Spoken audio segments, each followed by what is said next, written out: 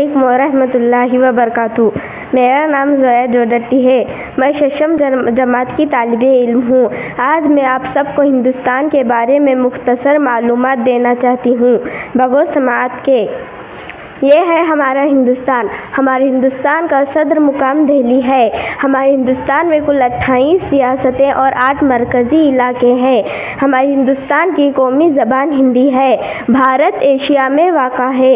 हिंदुस्तान का कुल रकबा बत्तीस लाख सतासी हज़ार दो सौ तिरसठ मुरबा किलोमीटर है।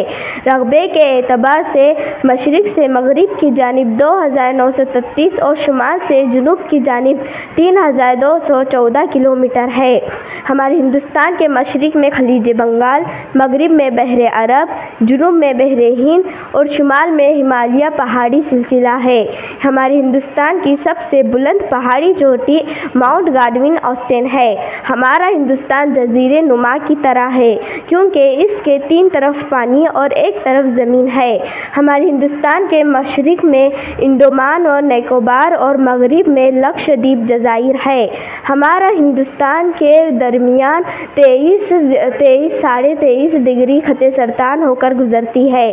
हमारे हिंदुस्तान के पड़ोसी ममालिक, चीन, तब्बत, अफ़गानिस्तान, पाकिस्तान, नेपाल, भूटान, बांग्लादेश, म्यांमार म्यांमार है। श्रीलंका है। हाँ हिंदुस्तान के दो दो हज़ार इक्कीस के मरदमशुमारी के मुताबिक हिंदुस्तान की कुल आबादी 140 करोड़ है। हिंदुस्तान की सबसे बड़ी रियासत राजस्थान राजस्थान और सबसे छोटी रियासत गोवा है। शुक्रिया।